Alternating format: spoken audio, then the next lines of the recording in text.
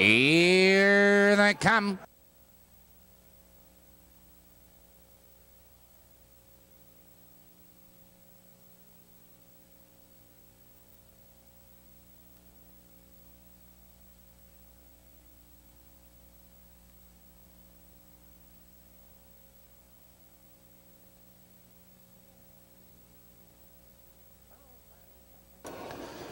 Merrill fan pacing, there goes another coat out for the late extraordinary Jersey Burner Chevy Chase on the outside. Into the turn they race, and extraordinary is on the inside, but Chevy Chase driving third, second on the outside. It's Jersey Burner in third on the outside. Duke Lamont followed in that turn by another colt on the outside. Bogart Command, Alert Eagle, and Armbro Expo as they approach the quarter. It's Chevy Chase with the lead on the real off straight is Duke Lamont the quarter.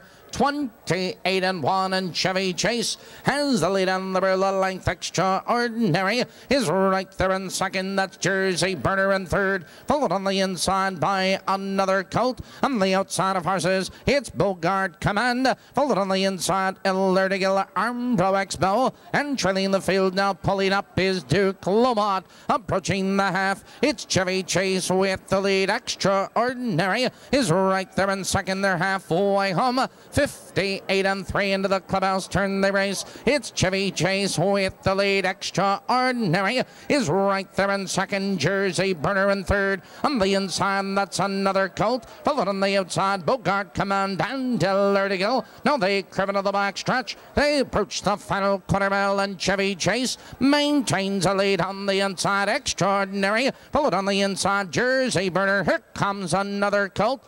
Now they move by the three quarter mile mark and your leader Chevy Chase Extraordinary charging second with a rush on the outside. On the inside of horses, it's Jersey Burner and another colt. Here they come, turning far home. Here comes Extraordinary. Extraordinary on the outside. A late move on the outside by another colt as they come to the wire. It's Extraordinary with the lead. It's Extraordinary. Another colt close for third.